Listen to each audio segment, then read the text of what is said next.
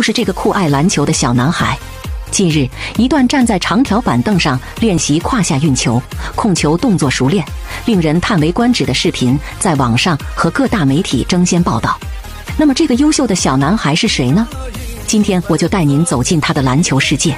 他叫赵振尧，今年九岁，浙江嘉兴人。他的爸爸说，孩子练球三年多一点，板凳运球今年过年的时候开始上手的，主要是练习孩子的一个重心控制。孩子的梦想是未来能成为一名职业球员。您看，小男孩双脚站在长条板凳上，通过在板凳上拍球不让球掉落的方法练习运球技术，左手换右手，右手换左手，篮球好像粘在他手掌心一样。男孩运球从不去看，每一次换手，每一次穿过胯间都是把球打在板凳上，一点不差，从不失手。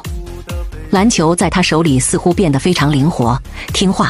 男孩熟练的运球、控球技术让人叹为观止。原来男孩从小就是个小球迷，每天都坚持训练。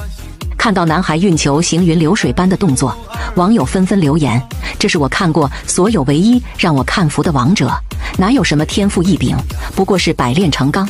少年坚持下去，未来可期。少年强则国强，努力的人总能超越梦想。”那么您看了这个视频，让我们为有梦想的小朋友点赞吧。生活精彩无限，我们下期再见。抖音。